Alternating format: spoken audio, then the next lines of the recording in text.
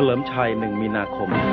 ซ้ายมือพันนรินทร์สอสวรรณพักดีขวามือชัยเดชเกียรติชาญสิงห์พิกัด 126 ปอนด์ที่เวทีราชดำเนิน กางเกงน้ำเงินชัยเดชเกียรติชาญสิงห์นี่เคยเป็นแชมเปี้ยนรุ่น 126 ปอนด์ครับได้แชมป์มาจากวันวิเศษแกันนรสิงห์แล้วก็ไปเสียให้ชมกเพชรช่อชมวง เป็นนักชกจากบ้านกรวดบุรีรัมย์ครับ สีแดงนี่จากลำแมชุมพรนะครับพันนรินทร์สอสุวรรณพักดี สูงกว่าชัยเดช11เซนติเมตรมานี่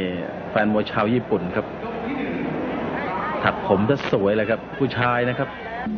ยกที่หนึ่งเริ่มขึ้นครับกางเกงแดงสูง 175 น้ำเงินสูง 164 คุณมาขามครึ่งข้อแหละครับ ทางชัยเดชนี่ ไม่ใช่ธรรมดานะครับ มวยหมัดหนักในคุณชันสิงห์สิงห์บดินครับลูกพี่ของกางเกงน้ำเงิน วางขวาไว้ทีหนึ่ง ชัยเดชนี่เป็นมวยหมัดหนักนะครับ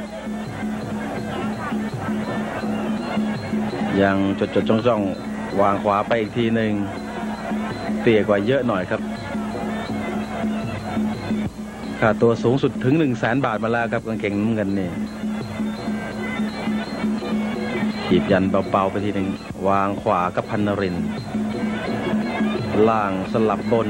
ล่างสลับบนกับซ้ายล่างขวาบนเอาแล้วครับ แล้วก็งัดขึ้นบนทั้งหมด นี่ครับซ้ายล่างขวาบน หมัดของชัยเดชนี่อย่าไปเผลอนะครับหนักมากโอ้โหทุกข้างอีกแล้ว หลังสลับบนเอาแล้วครับวางขวาเหมือนกันพันนรินทร์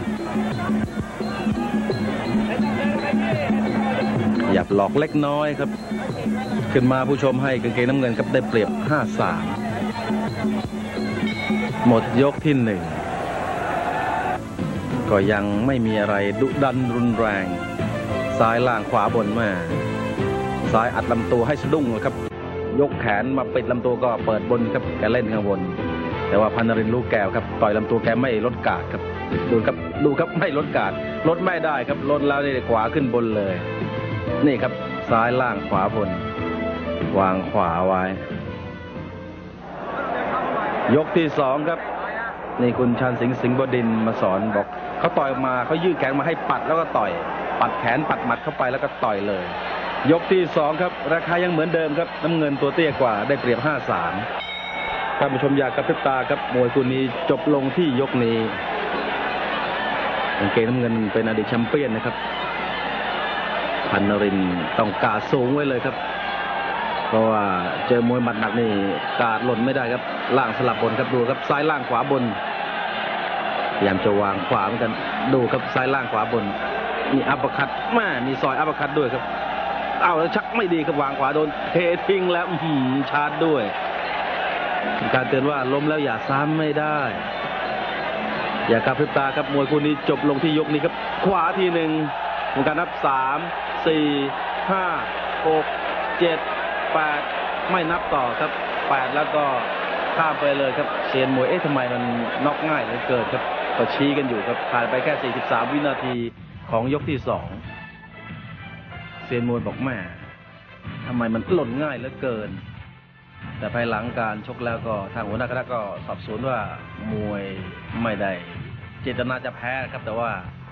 บางทีพอเจอมวยหมัดแล้วไม่ชอบขึ้นมาครับ โดนพอทนได้ก็กลายเป็นทนไม่ได้ไปหัวหน้าคณะก็ยืนยันนะครับว่าไม่ไม่มีการล้มมวยครับมวยคู่นี้